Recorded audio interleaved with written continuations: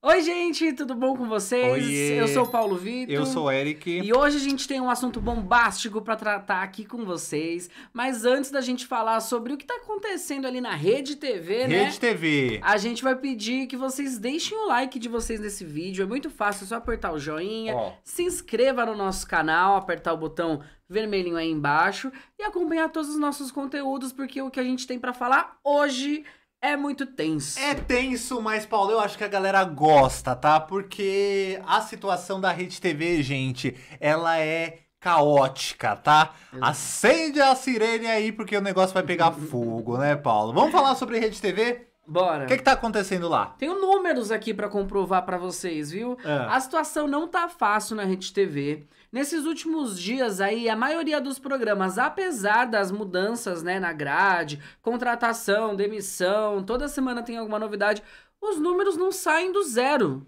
Literalmente, a gente nem tá exagerando, A gente né? não tá exagerando, gente. Exatamente. Como o Paulo falou, a Rede TV. Vamos por partes então. A Rede TV, Sim. ela fez algumas contratações, né? E uma delas foi a diretora executiva ali de criação da, da Endemol, tá? Vocês sabem o que é a Endemol? A Endemol, ela é a dona, por exemplo, do Big Brother Brasil, tá? E aqui no Brasil, claro, ela tem um escritório e é- esse escritório era comandado por uma diretora. A Rede TV contratou essa, essa diretora e falou: olha, vem trabalhar pra gente pra você criar os programas aqui da casa e direcionar o que deve ser feito. Beleza, beleza. Foi contratado, o que, que ela fez? Mudou encrenca, lembra? A Gretchen foi contratada, contratou Narcisa, tirou a Aline Prado do TV Fama, colocou, criou-se um novo programa nas manhãs, reformulou o João Kleber, é, colocou também a Claudete Troiano pra baixo, ou seja, fez uma reviravolta na Rede TV. Uma reviravolta, Paulo, que não deu em nada. Na verdade, acabou prejudicando ainda Piorou. mais.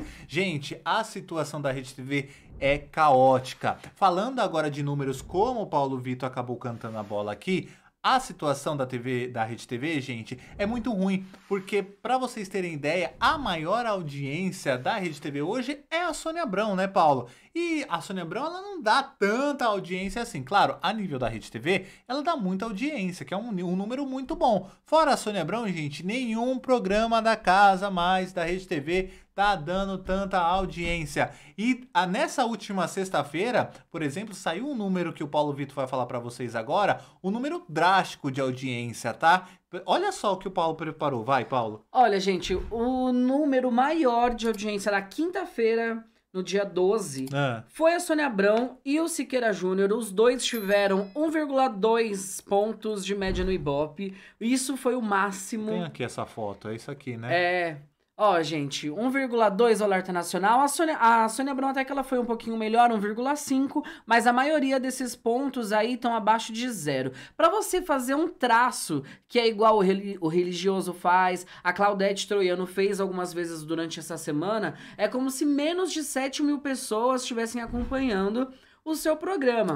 Isso aqui na Grande São Paulo, que é composta por muitas cidades, né? Sim. É muito pouco, porque a gente tem mais de 10 milhões de pessoas. 12 milhões de 12 milhões de pessoas, né? pessoas, Moram gente. só na capital aqui de São Paulo. Então você pega um número aí que a Rede TV tá registrando abaixo de 7 mil pessoas. Imagina só ah, você numa cidade de 12 milhões de pessoas transmitindo, sendo assistido apenas por 7 mil pessoas. A nível é número, de comparação, a nível né? de comparação, A, Sônia, a Fátima Bernardes e a Ana Maria Braga tiveram 500 mil pessoas assistindo os programas das duas na Globo de manhã. isso num então, número muito baixo, que já né? era Num- baixo pra no Globo, número né? muito baixo pra Globo, gente. Ela aí, a nível de comparação, claro, a Globo é a líder de audiência, mas assim, são 500 mil televisor, televisores ligados na TV Globo. Então, a diferença pra Rede TV, claro, é um abismo, né? Mas a gente tem aí o SBT, a Record, que dão no horário aí, enquanto a Rede TV tá dando abaixo de zero,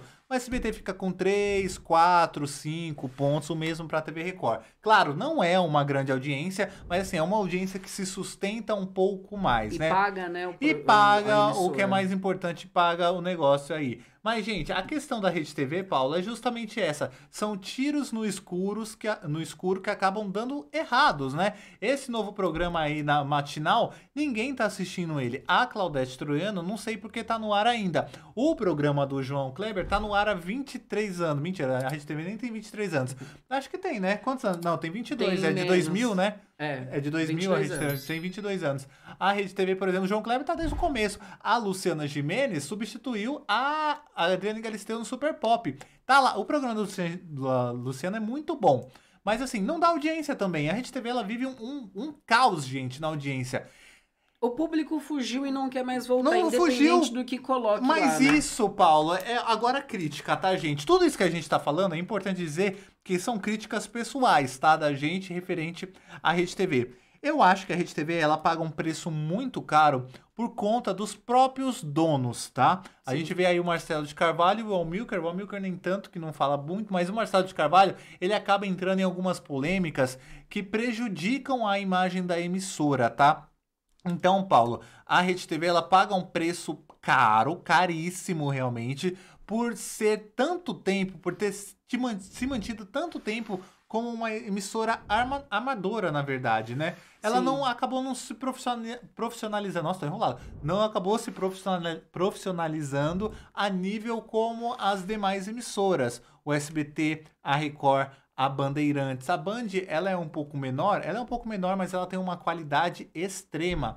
A Rede TV a gente não vê uma qualidade, a gente não vê uma qualidade de imagem, Nossa. a gente não vê uma qualidade de cenário, a gente não vê uma qualidade de, de áudio. Então, acho que a Rede TV ela, ela pecou-se aí no investimento, né? Até os links que eles fazem entre os programas de dentro da casa são meio que mal feitos, tem muitos problemas técnicos, Sim. então exatamente isso. A Globo tem o padrão Globo de qualidade, mas a gente também poderia dizer que o SBT tem o seu padrão de qualidade, a Record tem o seu, mas a Rede TV realmente é bem difícil A a, gente TV perceber peca demais. assim. E é, algumas coisas administrativas, por exemplo, que a gente comentou muito no ano passado, foi o fato da Rede TV ter feito um contrato de sete anos com o ap- o apresentador lá do programa policial, que a gente não cita, sabe? E pagando um salário aí de 500 mil reais.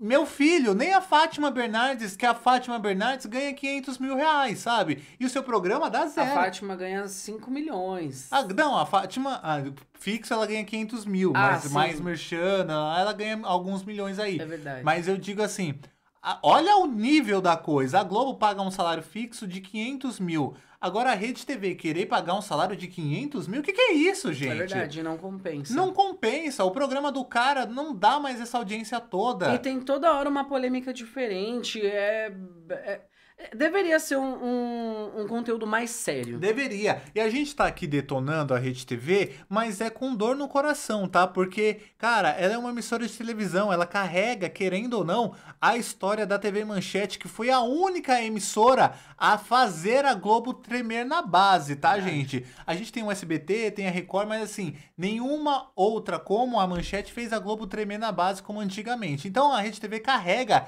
isso no DNA dela, mas pelo jeito, Paulo, tá, carregou também o DNA da falência, né? Porque a situação crítica do jeito que tá a Rede TV, não sei até onde vai isso, gente, realmente.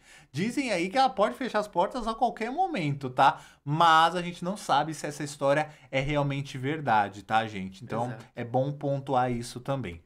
É Bom. isso, né, Paulo? Fica aqui a nossa crítica. Quero saber o seu comentário. Você gosta da Rede TV? Não gosta da Rede TV? O que, que você acha dos programas da casa? Eu tenho certeza que muita gente vai detonar aqui, mas faz parte, né? Acho que faz parte deles abrirem os seus olhos. É isso? Exatamente. É isso aí. É isso, hein? Antes da gente ir embora, já sabe, hein? Dedo no like e também se inscreva no nosso canal, caso não seja inscrito. Estamos aqui todos, tem vídeo todo dia, gente. Domingo a domingo tem vídeo nesse canal. Então, Exatamente. clica aí e também se inscreva no canal. A gente se vê numa próxima, né? A gente se encontra numa próxima. Até mais, gente. Beijo. Um beijo. Tchau. Até mais.